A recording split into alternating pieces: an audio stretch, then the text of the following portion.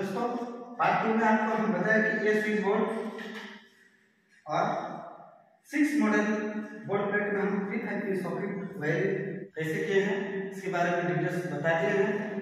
Part three में, आगे बढ़ने से पहले आप चैनल में नया है चैनल को सब्सक्राइब करना, मेरे वीडियो को लाइक करना, क्योंकि दोस्तों electrical house wiring and technology से रिलेटेड कंटेंट वीडियो आपके लिए बनाता रहता हूँ। दोस्तों, हम वीडियो शुरू करते हैं। हेलो गाइस लाइब्रेरी रूम में हम ऑलरेडी पार्ट टू में हम देखा है कि स्विच बोर्ड एक स्विच बोर्ड को हम वायरिंग कर दिए हैं और नीचे की स्विच बोर्ड भी वायरिंग कंप्लीट कर दिए हैं। सो गाइस यहाँ समझने की बात यह है कि हम पार्ट थ्री में बता रहे हैं।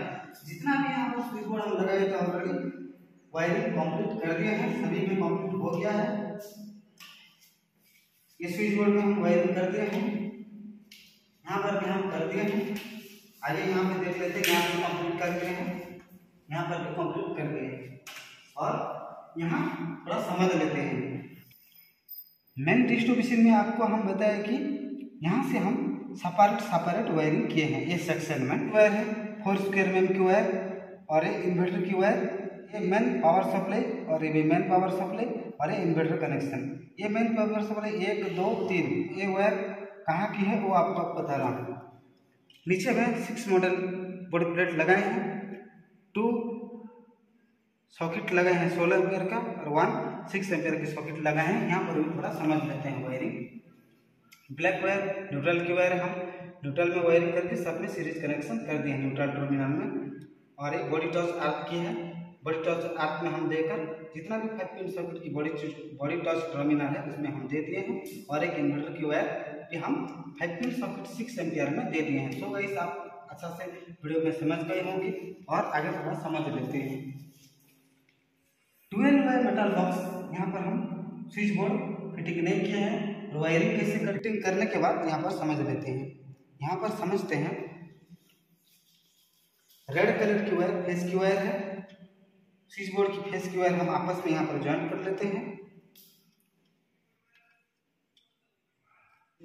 फेस की वायर स्विच बोर्ड में कंप्लीट हो गया है, फिर हम न्यूट्रल टर्मिनल ये वायर के साथ ज्वाइन करके न्यूट्रल टर्मिनल में डाल देंगे। पिन सॉकेट की न्यूट्रल टर्मिनल में।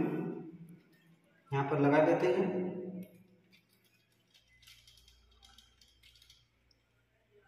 यहाँ पर ऑलरेडी लगा दिए हैं और स्टोर से टाइट कर देंगे। ऑलरेडी अच्छा से टाइट कर दिए हैं। सभी कनेक्शन करने के बाद और एक बार वायरिंग समझेंगे कैसे किए हैं।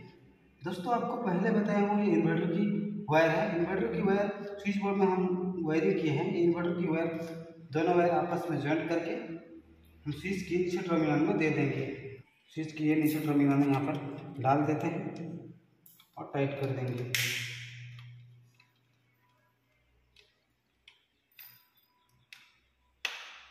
Already inverter connection wiring complete हो गया। है और तो आपकी वायर है। जितना भी पिन सॉकेट है, सब में हम सीरीज़ कनेक्शन कर रहे हैं, किए हैं। ये वायर और ये वायर आपस में ज्वाइंट करेंगे।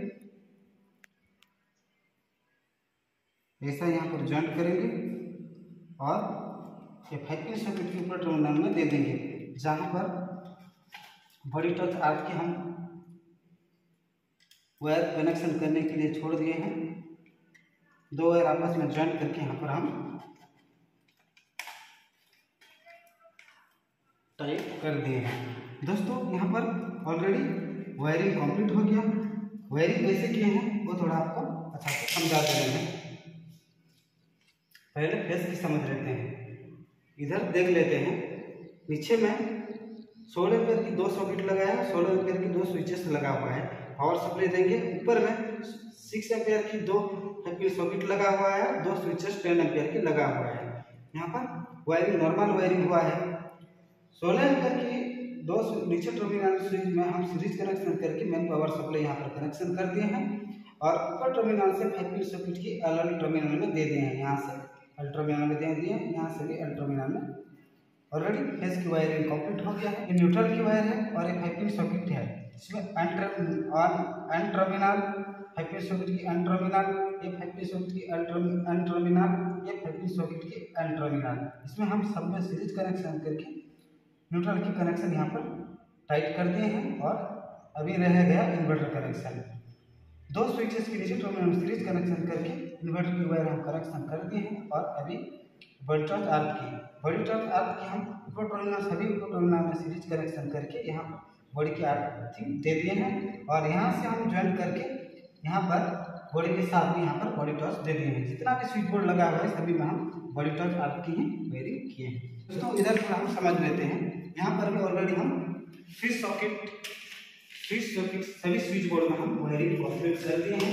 यहाँ पर भी कर दिए हैं। यहाँ पर कर दिए दोस्तों, हम सभी स्विच बोर्ड को यहाँ पर अभी हम क्लोज नहीं करेंगे। क्लोज कैसे करते हैं, उसके बारे में आपको नहीं दिखाएँगे। सो गई हम स्विच बोर्ड में हम कैसे ड्रेसिंग करते हैं आपको दिखा रहे हैं। आपके मन में सवाल होगा कि छोटा सा स्विच बोर्ड में इतना बड़ा वायर क्यों? हम इसको कैसे ड्रेसिंग करते हैं आपको अच्छा थोड़ा दिखा दे रहे हैं।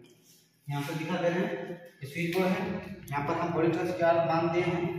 दोस्तों, कुछ नहीं। इस हिसाब से हम ड्रेसिंग कर देते हैं। चारों कॉर्नर में। क्योंकि मैं आपको वीडियो में पहले से भी बताया हूँ कि स्विच बोर्ड में हम कैसे फिटिंग करते हैं। आप थोड़ा अंदर में थोड़ा दिखा देते हैं कैसे ड्रेसिंग होता है। इस हिसाब से ऐसा टाइट कर देंगे।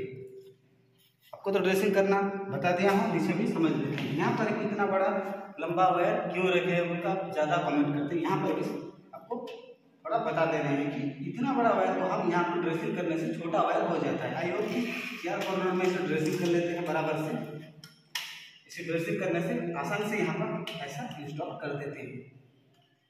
दोस्तों, आपको मैं अच्छा से समझाया हूँ।